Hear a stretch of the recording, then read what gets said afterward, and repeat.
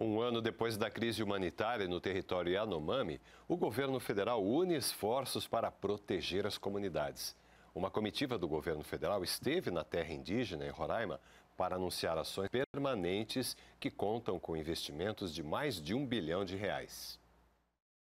As ministras dos povos indígenas, Sônia Guajajara, e do Meio Ambiente, Marina Silva, e também o ministro dos Direitos Humanos, Silvio Almeida, visitaram o território indígena Yanomami nesta quarta-feira para avaliar a situação da população após um ano da crise humanitária.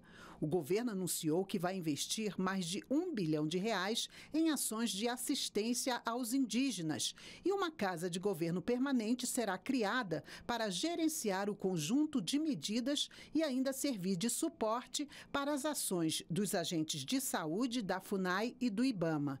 Os representantes das aldeias agradeceram as ações emergenciais e reforçaram a necessidade da manutenção da proteção e defesa dos povos indígenas.